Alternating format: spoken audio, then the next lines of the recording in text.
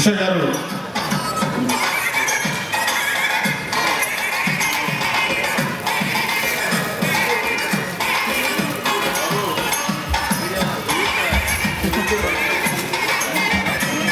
సైకలాజికల్గా ఇష్యూస్ ఉన్నప్పుడు సూసైడ్ ఇలాంటివి చేసుకోకుండా నేను ఈ పుస్తకాన్ని